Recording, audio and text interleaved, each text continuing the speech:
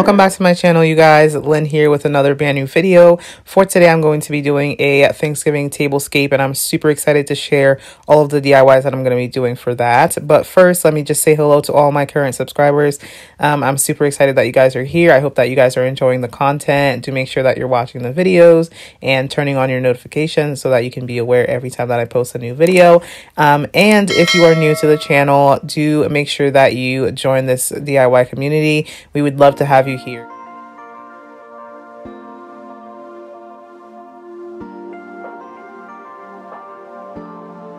I really appreciate Thanksgiving because it is a time that gathers everyone together and brings everyone around the table, and I love setting up for it. So, I wanted to start with a blank slate so that I can think about the ideas that I wanted to do.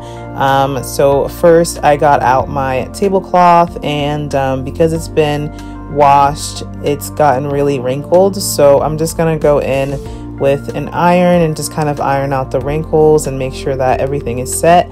Um, but I just wanted to make sure that I had some ideas in place for how I was envisioning the table to look.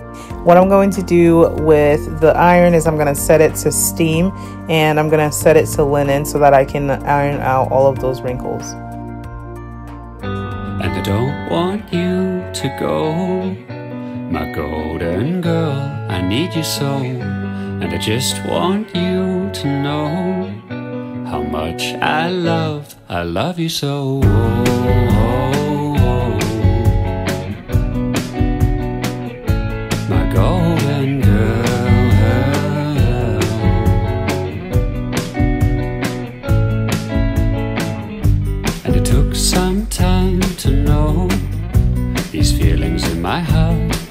you so. And it took some time to grow. When we are apart, I miss you so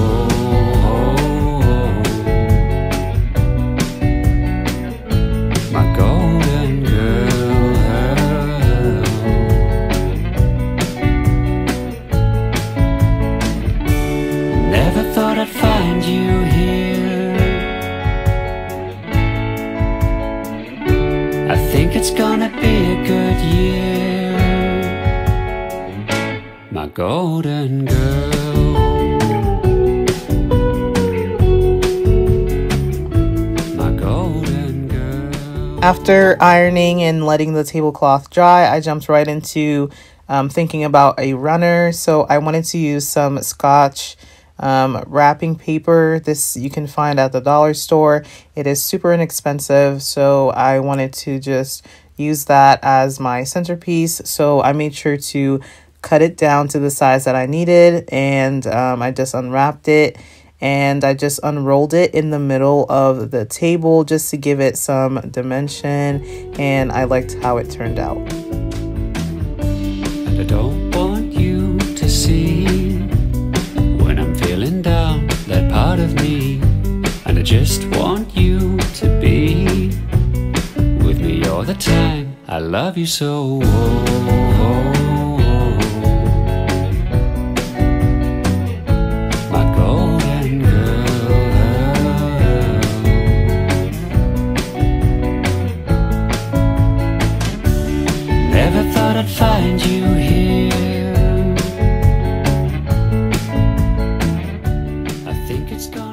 Okay, so this is a part of the project that was definitely a little bit challenging, but I was looking around for a centerpiece and I found this styrofoam piece that we had in a package that we received, but I did find out the wrong way that spray paint and styrofoam do not mix together, so I would not recommend doing this at all. Um, but the only reason why the spray paint didn't completely eat away at the styrofoam was because I only sprayed light coats of it. So if you were, not that I'm recommending it, but if you were to do this, I would spray very light coats of it on there. Um, next time though, I definitely would have just hand painted the styrofoam the color that I wanted it to be. Um, so yeah, it definitely turned out it looked great. I had to let it sit out for a little bit. Um, when you use spray paint on, you know, centerpieces or different things like that, do make sure that you let it air out um, just so that um, it doesn't really, you know, like stink up your de decorations and everything. So I definitely had to let it sit out for a little bit, and this was very helpful. So um, yeah, keep on watching.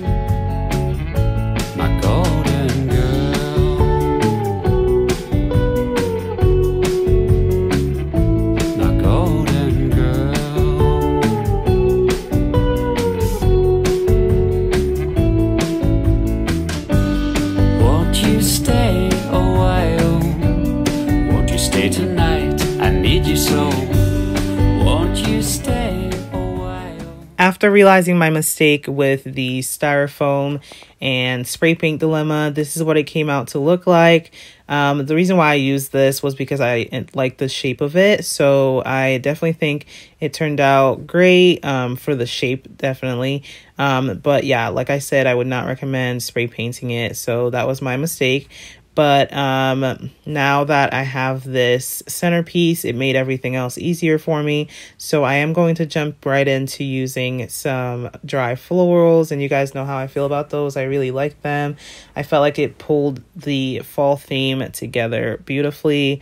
I'm going to use this jar from Dollar Tree. They're really cute. Um, $1.25 right now. So you guys can definitely um, give those a try. And um, this glass was a beaker from the Halloween decorations. This was from um, Target, but I definitely didn't use it. So um, you guys can definitely try out different shapes, different sizes, different things that you guys like.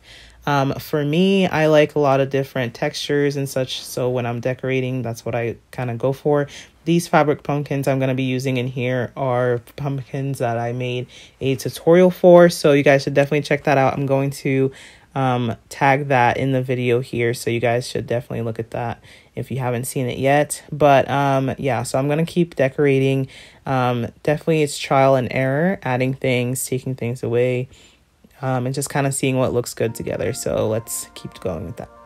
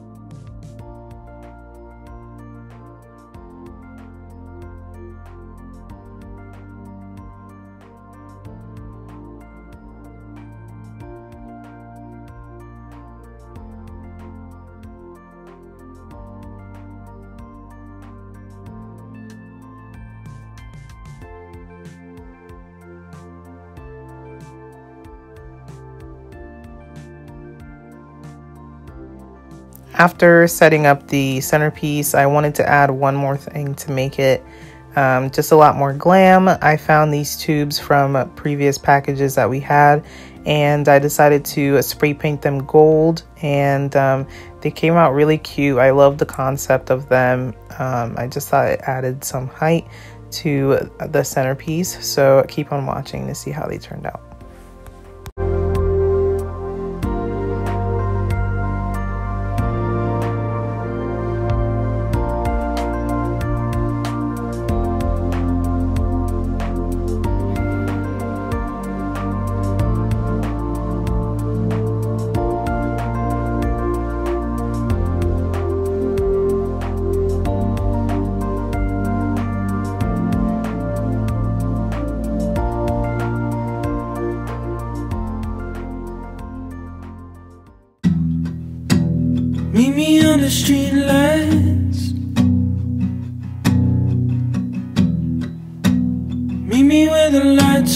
Out Tell me what it feels like. Tell me what you're thinking about When I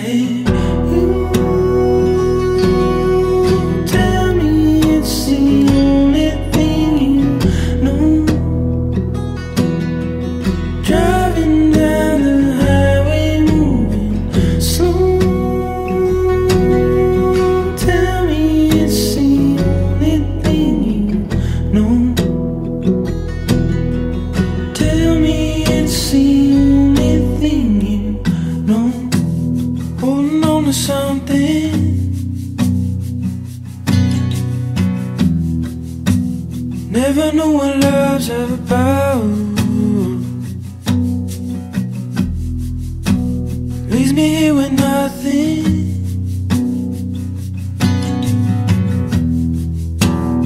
Empty hands and full of doubt.